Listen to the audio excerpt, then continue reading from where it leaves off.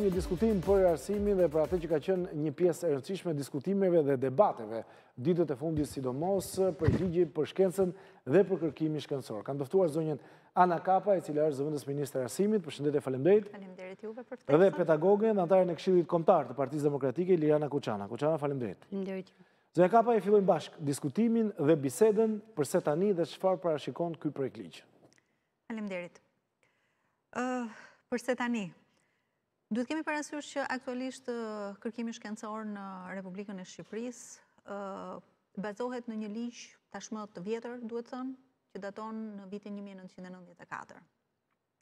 Sigurisht, mbas kaq vitesh, arena në të cilën zhvillohet kërkimi shkencor dhe shkenca kanë ndryshuar, aktorët kanë ndryshuar, mënyrat e financimit kanë ndryshuar, koncepte të reja kanë hyrë, Kështu që koha është e duhur. Mund të kishte qenë më përpara, megjithatë duhet të kemi parasysh që ky ligj ka rreth dy vite e gjysëm që punohet nga një grup pune.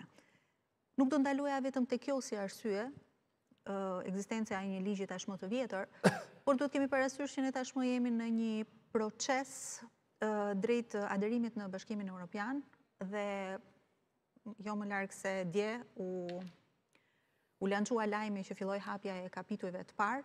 Duhet të keni parasysh që në këtë proces për shkencën dhe kërkimin shkencor është një kapitull i veçantë, që është kapitulli 25, rreth të cilit sigurisht qeveria dhe kryesisht Ministria e Arsimit dhe Sportit është shumë e fokusuar.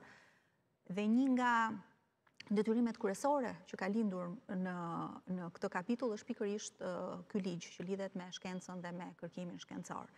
Këto do të veçoja si dy nga arsyet kryesore që kanë shtyrë në ngritjen e këtij projektligji.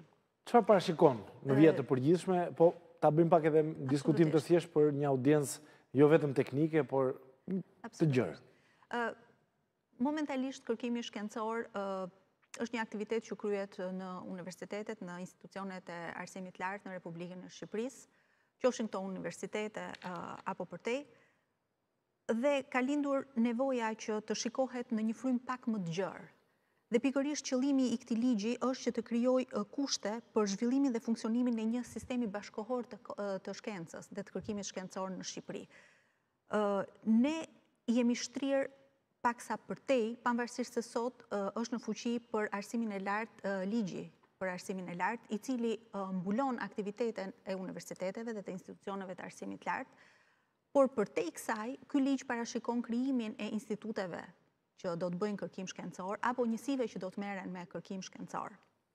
dhe kjo për të rritur nivelin e kërkimit shkencor në, në Republikën e Shqipërisë.